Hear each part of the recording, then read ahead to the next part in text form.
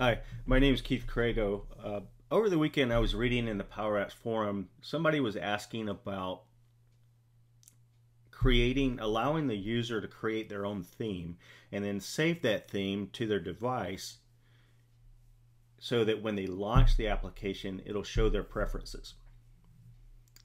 I thought uh, there's not something that is currently available to do that. You, we have our default themes that Power Apps provides but you can't really um, you can't create your own theme.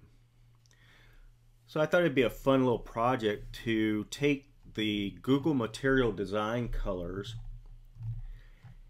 and if you look here they have a a long list of palettes that you can choose from.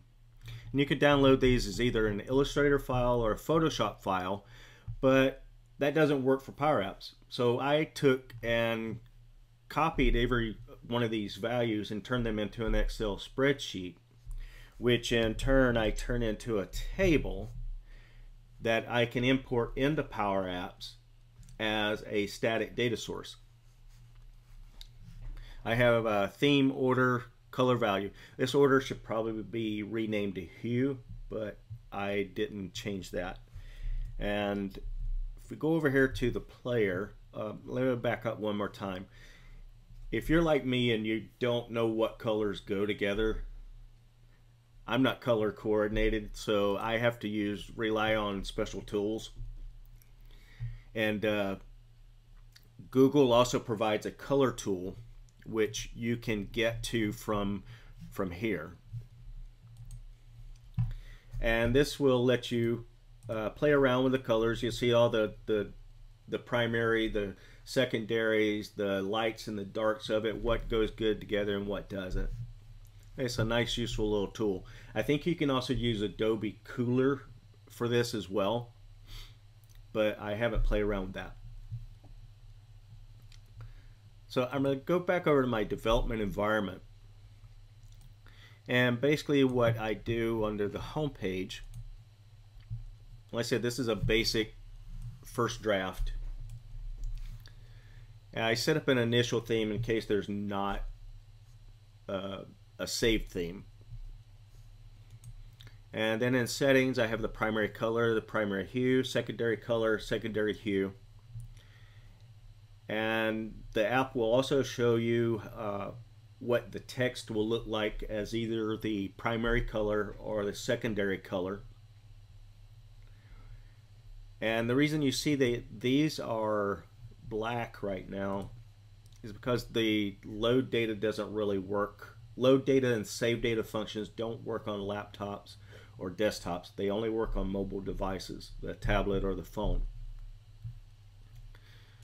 So I basically set the primary color that from this selection and the secondary color from this selection and then the triangles will show the hue and the color of the saved theme. Wow, that's a mouthful. Uh, I'm going to switch over to the actual device. I use QuickTime Player. It's a nice little tool on a Mac that will allow you to connect your your phone or your tablet and show your your device's screen on your main desktop or laptop screen and that's what I'm doing here. And let's launch the application. And when this surfaces, I've already saved a theme, so it will bring up that theme from the device's uh, memory or hard drive. And I can change it by clicking the settings button. Uh, let's choose red 500 with the secondary of indigo. Uh, why not?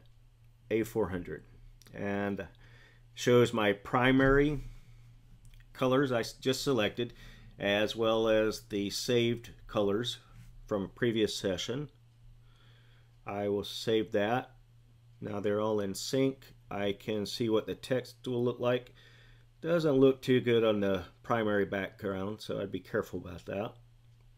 Let's change it back to the default and let's go back to the home screen and there's my buttons again uh, Uh, it's like I said, it's still a draft, so the text needs a little bit of work.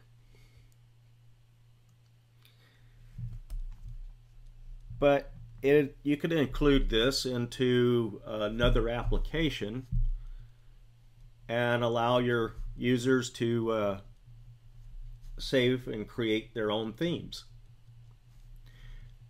I'll try to find a way to provide the, the application as well as the Excel spreadsheet. And I hope you found this useful. Thank you for watching.